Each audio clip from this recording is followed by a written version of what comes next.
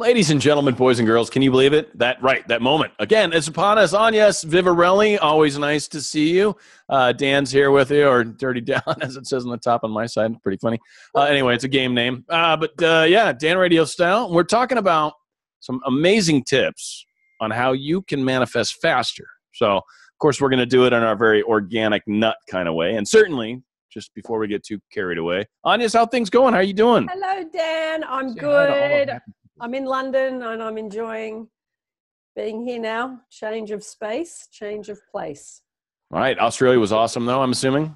Yeah, it was good. It was good. I Uh, love it. I love I love love love Sydney. I love Sydney. All the yeah, all the killer creatures, the animals that could kill you, horrible insects that are deadly. Um, Pretty much everything can kill you in Australia. It's fantastic. So welcome home to a place where only just spiders and whatnot maybe exist, but uh, yes. They're I all sad from the Much weather. Much safer here in London. I love London.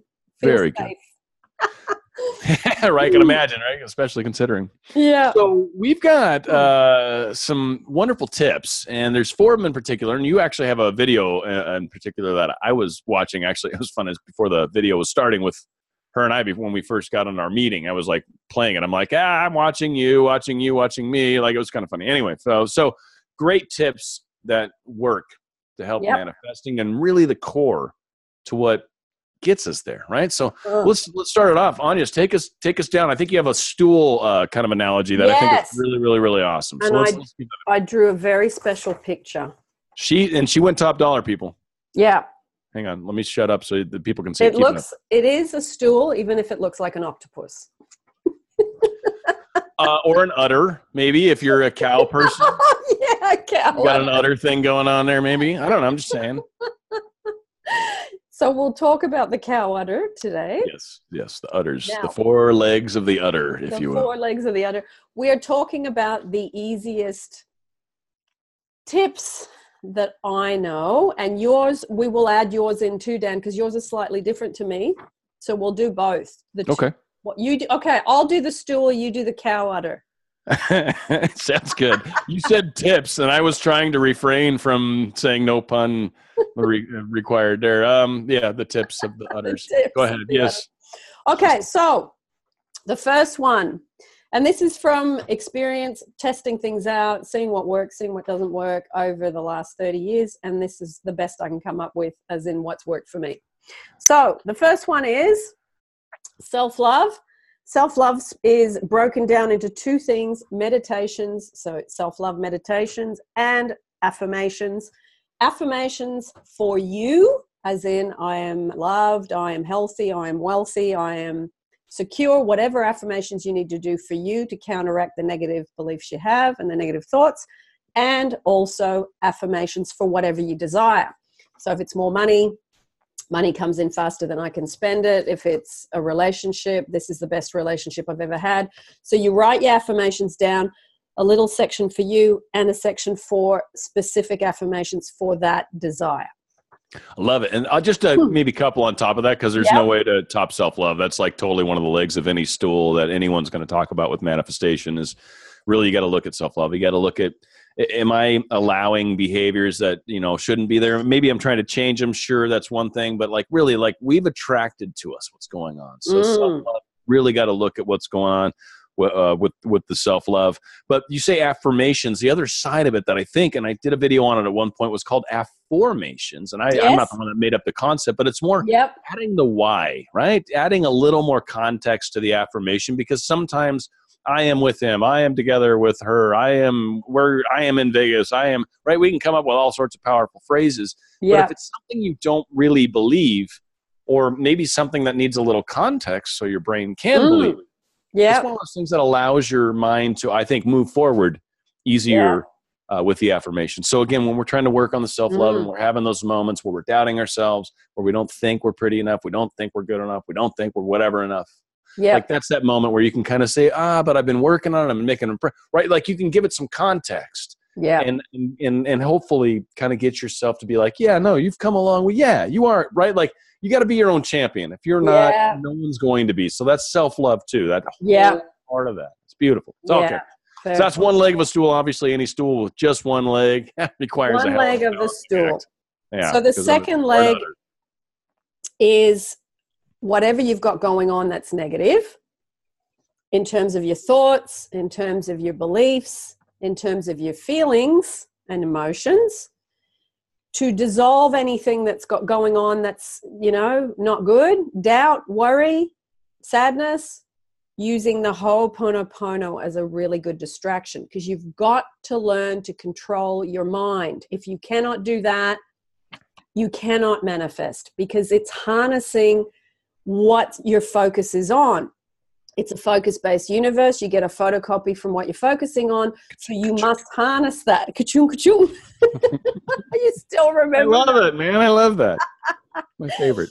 Ah, ka-choom, ka-choom. And the hand so gesture. The, the, the hand gesture. Ka-choom, ka-choom. Yeah. I love it. Sorry, ladies and gentlemen. I can't. All right. Anyways, yes. So, so, some sort of um, yeah. Go ahead. Yeah. So it's got to be that you practice distraction and distraction from the repetitive habitual negative thinking. You do that. Ho'oponopono, I find, is one of the easiest ways to do it because it's just four statements. I'm sorry. Please forgive me. I love you. Thank you. You're dissolving. You're stepping away. You are disengaging from that groove of being committed to your repetitive habitual negative thinking. And Ho'oponopono, being the forgiveness prayer from Hawaii, is a very, very powerful prayer that's been around for a very long time. It's tried and tested, and it is a great way to divert and distract. Now, I feel like it's hmm. worthy of mentioning really quick the Ho'oponopono yeah. prayer, right? So please uh, at least carry that part forward. So people are like, well, but what is that? Because I'm sure there's some people that are not sure what the Ho'oponopono is. Yeah, and we won't go into it but we there'll be some links down below for people right. who want to investigate that in a lot more depth because that Good on call. its own is yeah. quite a little chunky nugget that takes a little bit of time to so the cat's still in the bag but we're kind of like just a little so you check it out if you want it's up to you so it's but yeah the ho'oponopono and yeah. for me too one thing that i got that i've talked about and kind of a little more airy fairy so yeah uh, not your thing, don't go down that path. If it is more your thing, you know, and you're loving crystals and you curl up to your crystal uh, quartz every night, right? Like one thing that worked for me, I learned from my teacher was called the astral letter. So there's a, yeah. a process that you go through. It's um, it's it's symbolic in nature. There's aspects that are it's anyways. Again, my link will be below too as well. So it's it's good stuff okay. to check out. Good ways to try to work on dissolving the parts. The key is a tip to try to help manifest better yeah really when you when you've got these issues that you're doing all these affirmations for it's kind of like we say putting a band-aid on a mm-hmm. wound but not really treating the wound. Yeah the first part of this the first leg it's like you know one leg's as good as the other. Sorry i had to. But, but you know all the legs are important is my point. All of the udders matter. They're all deliveries right? So it's yeah. important that you've got the self-love going yes because you you need to work on that part that needs healing two one of the things that happens at the same time when there are self-love issues is you get that that voice that noise that's and it says the wrong things all the time right you ever notice yeah. that? that thing that gets a lot of people off track is yeah. that, that voice so you have to have waves like you said to distract yourself to maybe try to mm. dissolve that to deal with that uh, we've given some examples. We've got a couple videos you can check out if you'd like to get a little more deep into that. There are some ways that you can heal that, but you need to. Otherwise, you're fighting one and two, right? The first two legs of the stool, you're constantly fighting each other, and and you really you need to understand these are all you have four legs for a reason. They're all holding you up at the exact same time. So yeah. no one leg is more important than the other. You need all of them, and so yeah. it's very think to keep that balance. I'm I'm interested in what you and I were talking about before we started recording. You said you had five things, five-legged stool. I'd really like to see what that looks like. All right. I mean, yeah, it's a little crazy. I think you only really need three, probably in the big picture. But uh, yeah, I think I did one that way too. But yeah, I got a five-legged stool apparently in my video. It's got so. a pole in the middle. Oh yes, you just spin. like woo, just go all, all around, all crazy. It's good times. Mine's more oh. yeah more of a merry-go-round kind That's of stool. It. Yeah. okay, so yeah, number udder, three. Udder or udder, or octopus. The third other. other.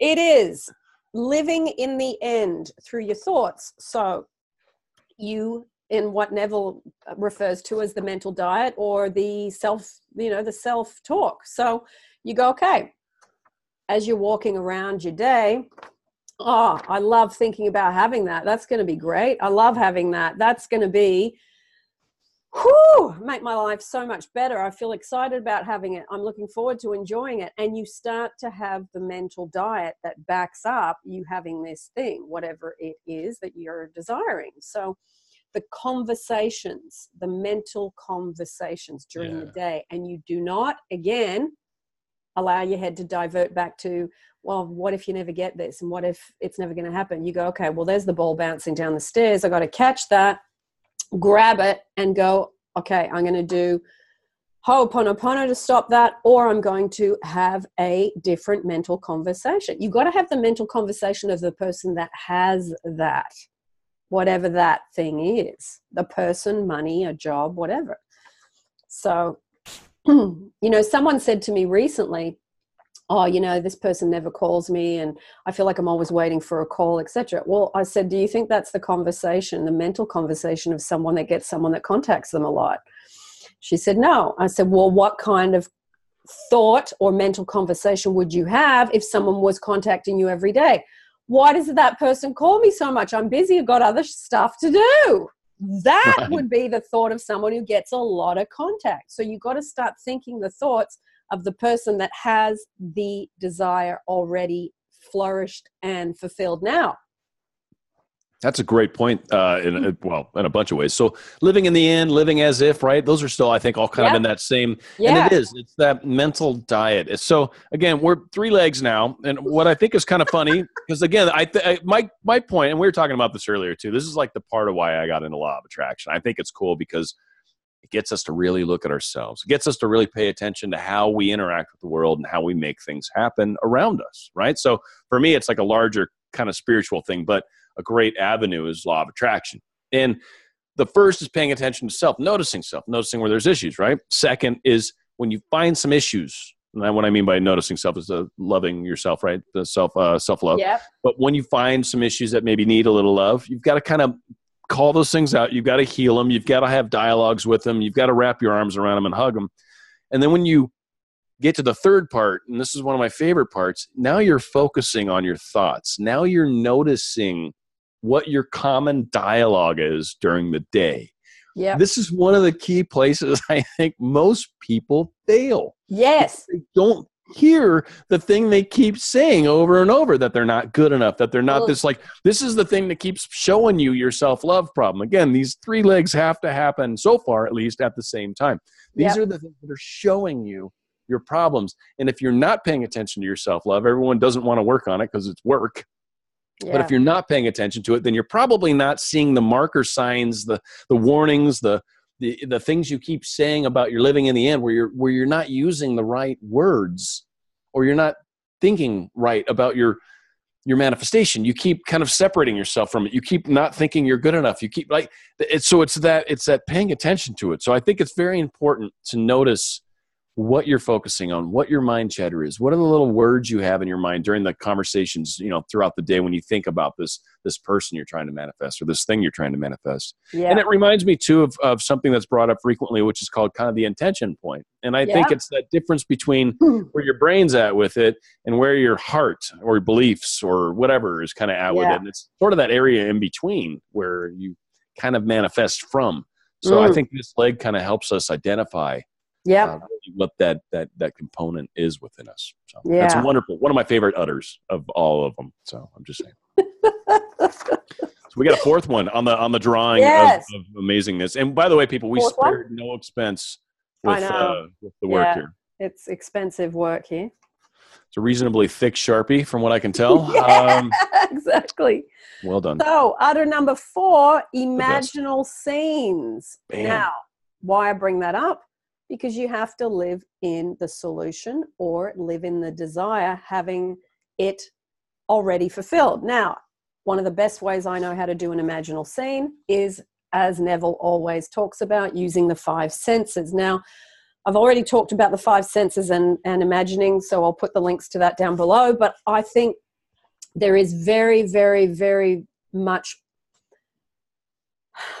it's such a power to imagine using whatever senses are relevant to that particular desire. So if you want more money, you're going to feel it, you're going to see it. You're not going to talk to it, so there won't be any audio in that one. Unless you want to jump up and go, wow, I've got heaps of money and hear your own voice.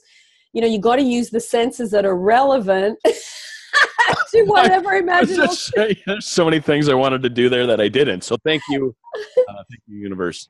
Yes.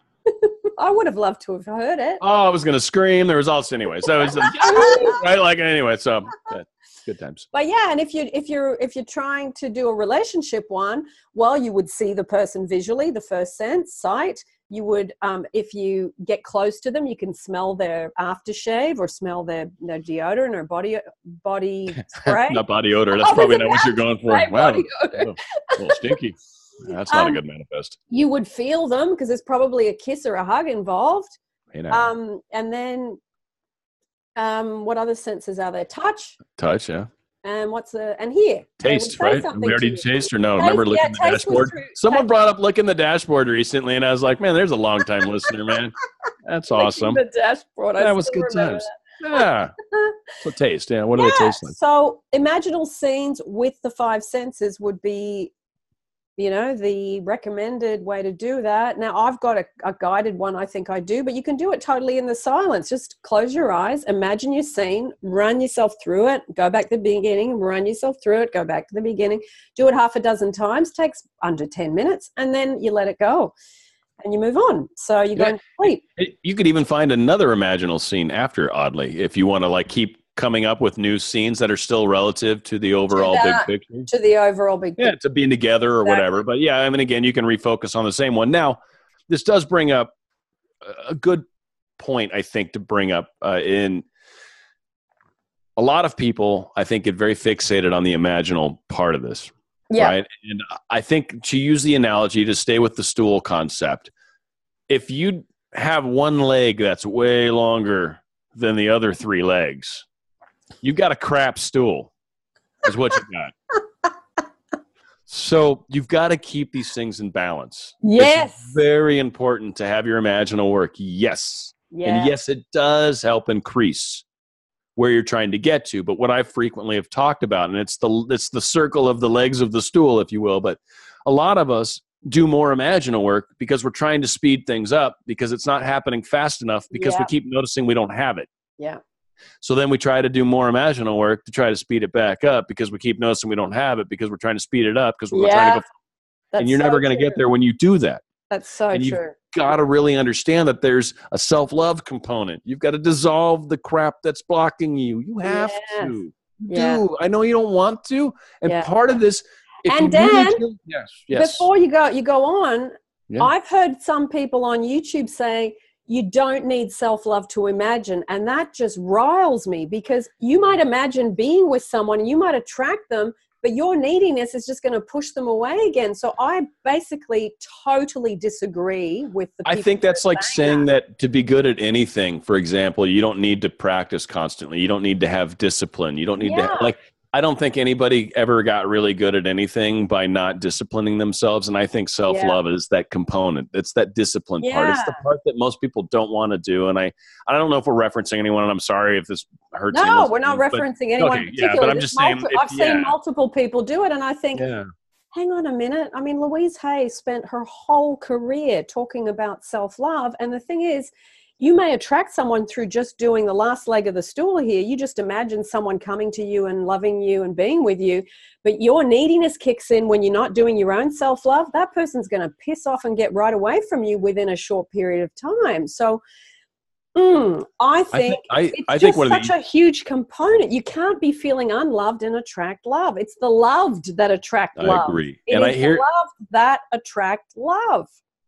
Absolutely. And I and I, I think what happens with a lot of people that aren't paying attention to self-love and don't want to look at self-love, Yeah. kind of how it tends to manifest is you'll notice there's a repeating pattern. You keep attracting similar types of people, right? The, yes. the girls are always this way or the guys are always this way, whatever. Yeah. And you keep attracting it. And it's generally going to be qualities that are unattractive. So it's very easy for us to put them outside of ourselves and say well they're not a nice person. They don't do things right. They don't take time. They, they, they. we Yeah. keep attracting that. That's the whole concept of when you point your finger at somebody you've got three more pointing back at you. Or Yeah. as we frequently talk about, one of the most solid examples of us pushed out is when you're doing that, when you're projecting yourself outward and blaming other people for things that you're attracting.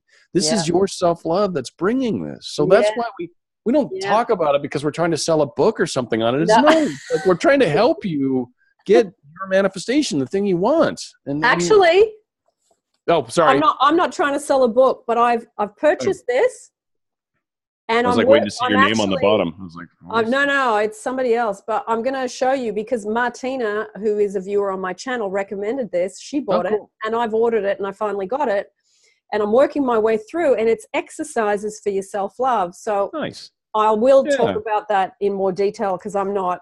I haven't finished it, but That's fantastic. it is there's so many good resources to really get yourself in a loving state and then when you do that you don't have to work on relationships at all because relationships look after themselves They really do, because it goes back to that that energy you're putting out. I mean, that's why I hmm. keep like again. That's what's one of the most key things is who you are internally, like the way we see ourselves and think about ourselves and hold ourselves, and then what we focus on on a regular basis. yeah All like they spiral outward. It's it's a, I see it as an energy. It's like a frequency, and as you kind of get it to a higher vibration or a better vibration or a happier vibration or whatever, it seems to affect what is attracted to us. And I always thought that was kind of really more what the law of attraction was about, or kind of when Mm. they talk about the vortex. I think when you're in the vortex, you've got more similar kind of energy stuff with you. So you're in this really cool energy, and all this cool stuff happens, and it just sort of causes more of the same thing. More of yeah, it's just it's it's powerful, it's fun, and so yeah, I, I think that's uh, that's huge. So yeah, when you work on the self love and really get that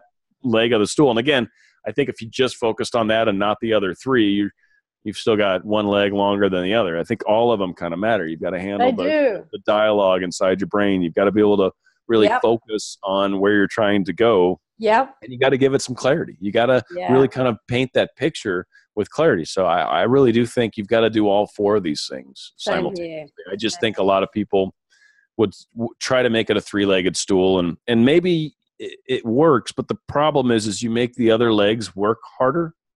Um, the fourth leg adds some stability, and that's the part that really is about self-love. Otherwise, you're always Yeah. dealing with trying to dissolve stuff yeah. but you're just putting band-aids on wounds. You're not actually fixing the wound. So yeah your stool will hold you up yeah. but you're going to be working a bit harder at it than maybe you need to. And like to your point if you get that self-love component nailed down a lot of the other problems really simplify it, they it- disappear they just really to borrow the analogy that extra leg really helps Yeah. support 25% more of the weight right so yeah it, it it helps it helps a lot It does. It does. So, okay, let me ask you: Would you? What would be your? If you have you got any other components that you think are really important that I haven't mentioned?